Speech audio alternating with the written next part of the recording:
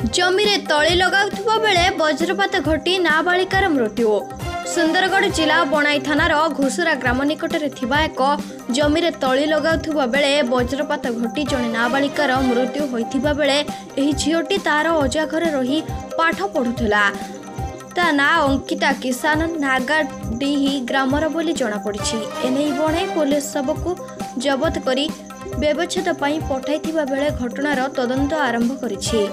ବଣାଇରୁ ସନ୍ତୋଷ କୁମାର ସାହୁଙ୍କ report ରୂପାଥାଳିଆ news.